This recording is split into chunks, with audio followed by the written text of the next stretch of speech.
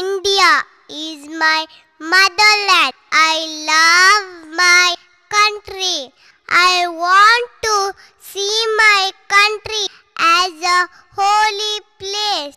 Do you want to join with me? Yeah!